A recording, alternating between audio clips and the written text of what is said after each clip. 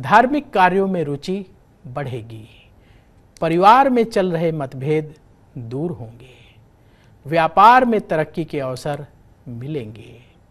संतान से खुशी प्राप्त होगी। शुभ रंग, हल्का हरा। हल्के हरे रंग का आप प्रयोग करेंगे तो आपका लक और बढ़ जाएगा।